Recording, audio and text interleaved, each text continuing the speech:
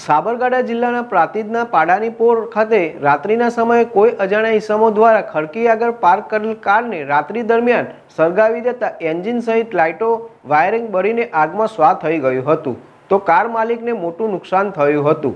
તો ઘટનાની જાણ થતાં મહિલા કોર્પોરેટરે પરિવારની મુલાકાત લીધી હતી.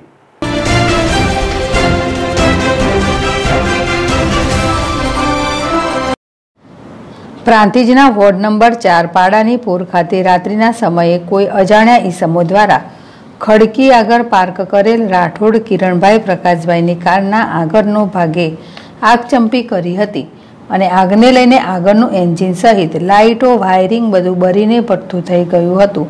તો કાર માલિક રાઠોડ કિરણભાઈ પ્રકાશભાઈને મોટું નુકસાન સહન કરવાનો વારો આવ્યો છે. તો આજ વિસ્તારમાં કાર ચોરી તથા કારને નુકસાન કરવાના બનાવો અનેકવાર બન્યા છે. તો કાર માલિક રાઠોડ કિરણભાઈની કારને બીજી વાર આગચંપી કરવામાં આવી છે. તો આ વખતે કારનો આગળનો ભાગ બરીને ભરતું થઈ ગયો હતો અને મોટું નુકસાન સહન કરવાનો વારો આવ્યો છે.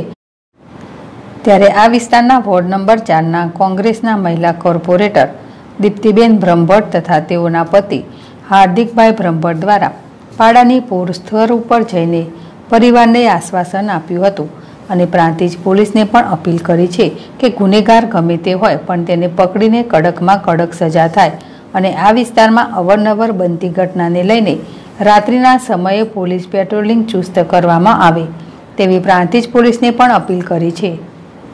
સંજય રાવલ જેડેસ ટીવી, પ્રાંતિજ.